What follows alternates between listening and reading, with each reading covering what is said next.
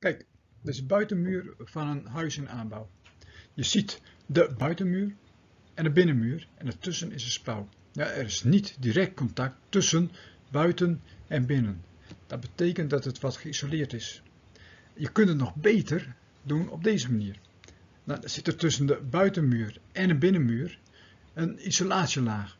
Ja, ook dat is een perfecte isolatie. En zo zal er in een huis heel veel isolatie wezen, dat ervoor zorgt dat er weinig warmte van binnen naar buiten gaat. Of natuurlijk zomers van buiten naar binnen, zodat het buiten lekker warm is en binnen lekker koel. Warmtransport. Daar gaan we het over hebben.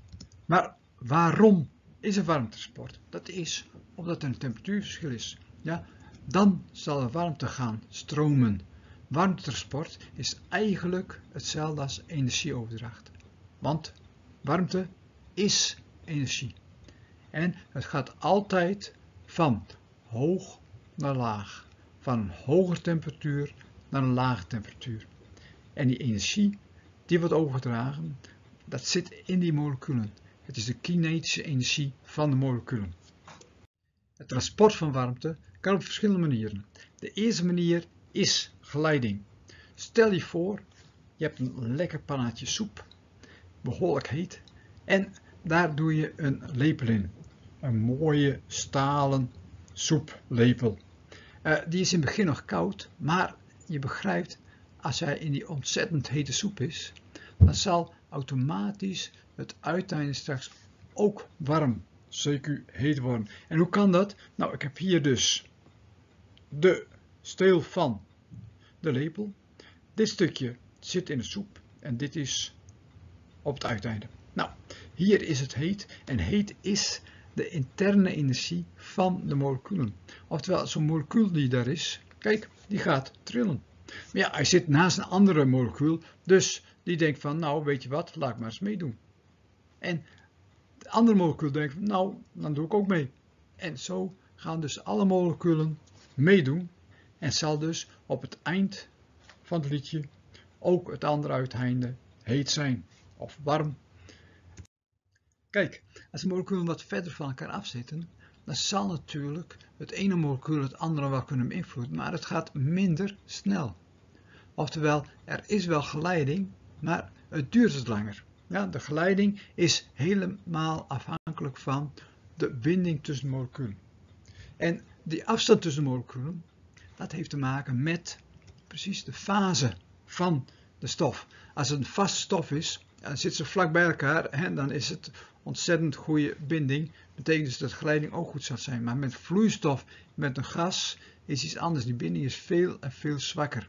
Kortom, alleen vaste stoffen, die zullen warmte goed geleiden. Vloeistoffen en gassen zijn slechte warmtegeleiders. Behalve dat je vast vloeistof en gas hebt, heb je natuurlijk ook diverse verschillende materialen. Een metaallepel zal de warmte beter geleiden dan een stenen lepel. En daar kun je ook wel zeggen van, als iets goed elektriciteit geleidt, zal het ook goed warmte geleiden. En daar kun je wel een beetje metalen zijn dus goede warmtegeleiders. Tweede manier van warmtransport is via stroming. Nou, stroming, eens kijken hoor, wat doen we? Ah, ja natuurlijk water, hè, vloeistof in ieder geval, want dat kan stromen.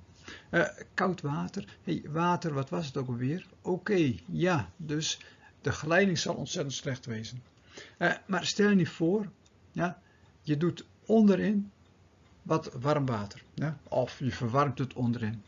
Uh, wat gebeurt er als je iets verwarmt? Nou, molecuultheorie zegt van, hé, hey, gaan ze een beetje harder bewegen, betekent dat de moleculen wat verder uit elkaar gaan, oftewel, het zet uit.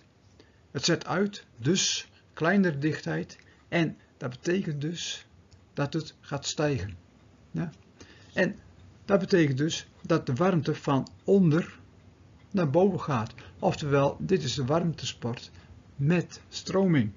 Het is logisch dat dit alleen maar kan in stoffen die zelf ook kunnen stromen. Betekent dus in vaste stoffen niet vloeistoffen, maar ook gassen. Daar kan dus wel via stroming warmtetransport plaatsvinden. Dan gaan we naar de laatste manier van warmtesport en dat is via straling. Nou, wat hebben we hier? Ah, de zon en de aarde. Niet op schaal natuurlijk, dat begrijp je. Ehm, nou heb je tussen zon en aarde niet zoveel. Nou, dat is in feite vacuüm. Uh, oftewel, je zult daar zeker geen geleiding of stroming hebben. Want ja, geleiding alleen vaste stoffen. En stroming, ja, als er niks is, kan er ook niet stromen. Uh, toch heb je dat er van de zon ja, warmte naar de aarde gaat. En dat gaat via straling. Ja, de hitte wordt in stralingsenergie omgezet. En die energie treft onder andere de aarde. En doordat de aarde die straling absorbeert, wordt het warm. Ja, je krijgt een lekkere temperatuurstijging. Gelukkig niet zo warm als op de zon, maar 20 graden Celsius, nou, dat is wel, wel lekker. Nog even over metaal en steen. Metaal een betere geleider dan steen. Dus als ik een metalen staaf heb of een stenen staaf en ik verwarm het aan de ene kant, dan zal dus bij het metaal het sneller gaan dan een steen. Ja, oftewel, in metaal heb je dat de warmte sneller stroomt dan een steen. En warmte, wat is dat ook alweer voor symbool? Precies, de Q. En dat sneller gaat betekent dus kortere tijd. Hè? Een uh, tijdsinterval delta t.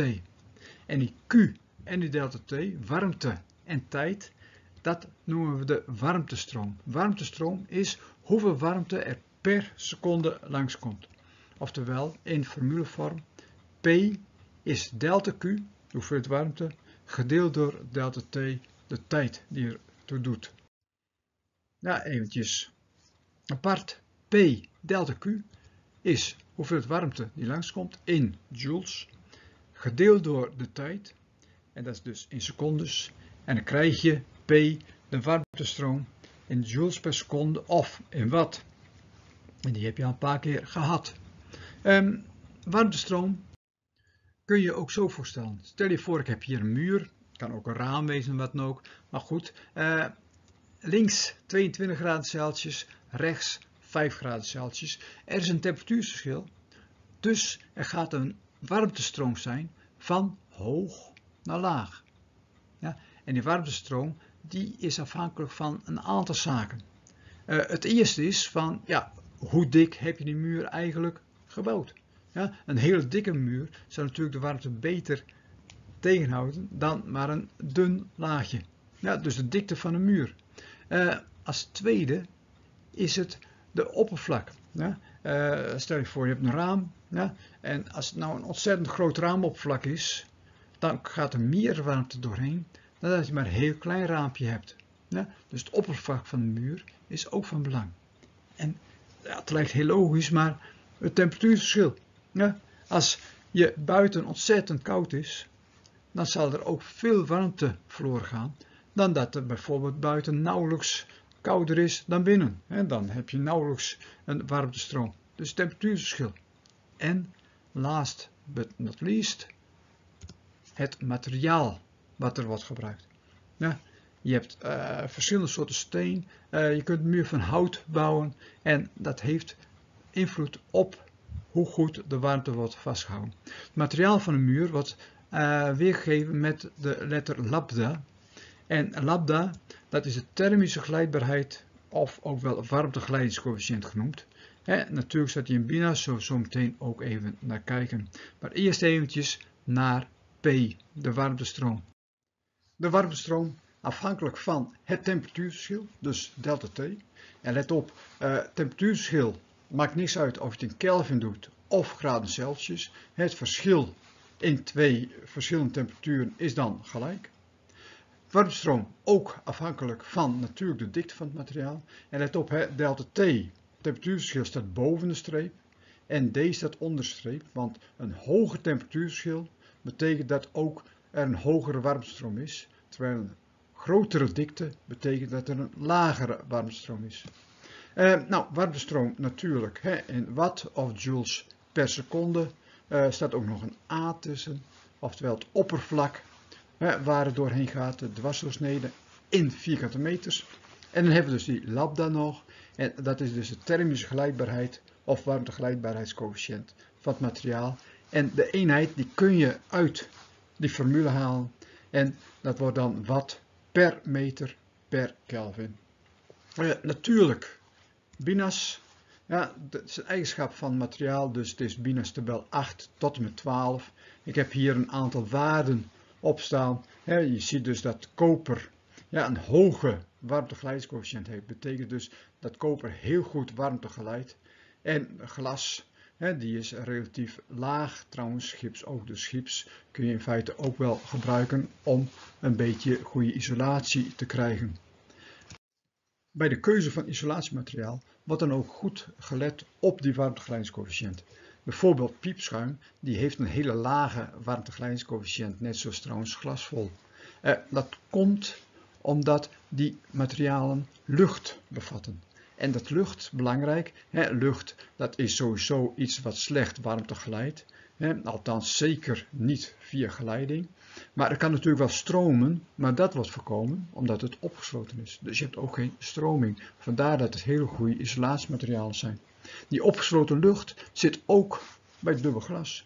Zie je? En dubbel glas heeft nog meer zaken om de warmte of binnen of buiten te houden. Onder andere via coatings die ze op het glas doen. En we gaan nog eventjes kijken naar metaal en steen. Want we hadden erover van goede elektrische geleiders glijden ook goed de warmte. Nou, als we dus naar de metalen kijken en ik kijk naar de warmtegeleidscoëfficiënt en de soortelijke weerstand, dan moet daar dus een verband tussen zitten. Nou, daarvoor heb je Excel.